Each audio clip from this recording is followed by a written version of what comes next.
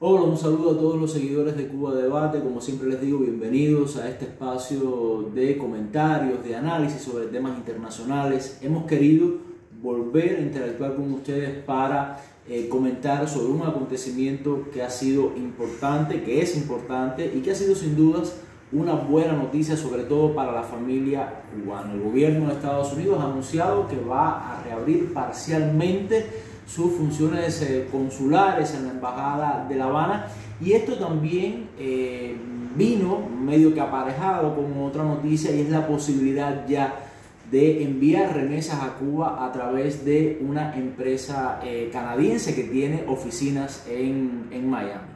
Lo primero que hay que decir es que son medidas parciales. Esto no va a significar como debió ser un alivio ya total para la familia cubana, para toda aquella persona que necesita hacer un trámite de visa, buscando una visa para viajar a Estados Unidos o para algún problema de trabajo o algún problema familiar, personal. No, no, no, no. Seguirá siendo necesario para muchos ir a un tercer país, pero sin duda, sobre todo para aquellos procesos de reunificación familiar, va a significar un alivio. Ahora, la pregunta que muchos se pueden hacer eh, y que incluso muchos eh, eh, se han acercado para preguntar, ¿tiene esto algo que ver con el contexto internacional actual? ¿Cómo se explica que en medio de una guerra, que en medio de tensiones, Estados Unidos de este paso? Bueno, lo primero que hay que decir es que es algo que ya venía en el ambiente, ya había señales desde hace algunas semanas, meses, podríamos decir, de un anuncio, de que este anuncio iba a tener lugar. Y tiene que ver con varias razones. En primer lugar, recordemos que esto fue una promesa electoral del presidente Joe Biden, que fue incumplida, que fue postergada durante meses, durante más de un año.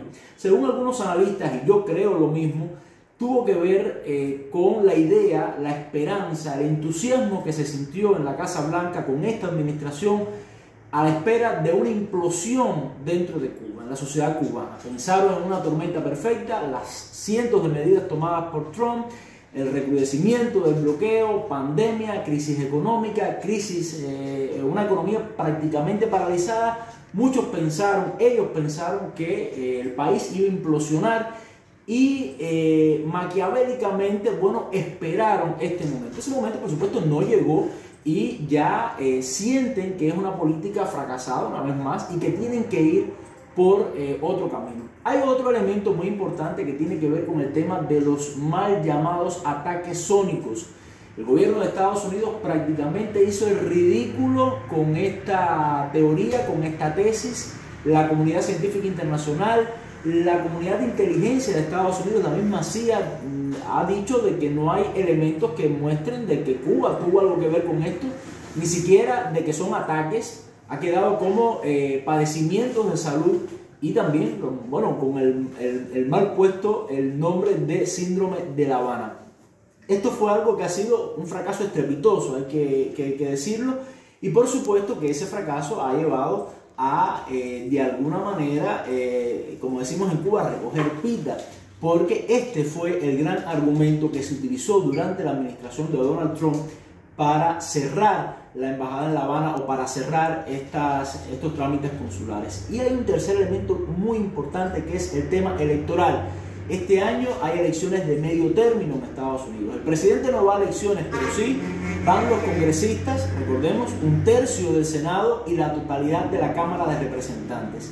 Y es muy llamativo que muchos eh, eh, representantes de la Cámara de origen cubano de la Florida, de los más recalcitrantes eh, hacia Cuba, han pedido en los últimos meses la reapertura de esos servicios consulares. ¿Y a qué tiene que ver esto?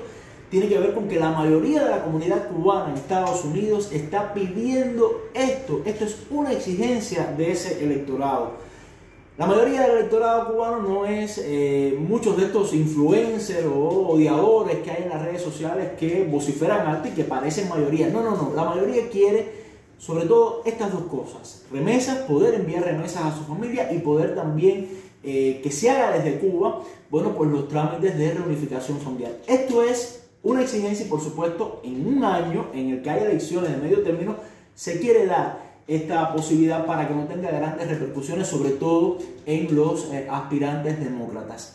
Se ha calificado por Cuba como un paso en una dirección correcta. Esto me recuerda mucho lo que se decía durante los dos últimos años de Obama, que comenzaron a darse pasos muy discretos poco a poco en, una, en una, un cambio de relación de política hacia la isla. Pero esa es la gran pregunta. ¿Significa esto una desescalada en las tensiones, vamos a decirlo así?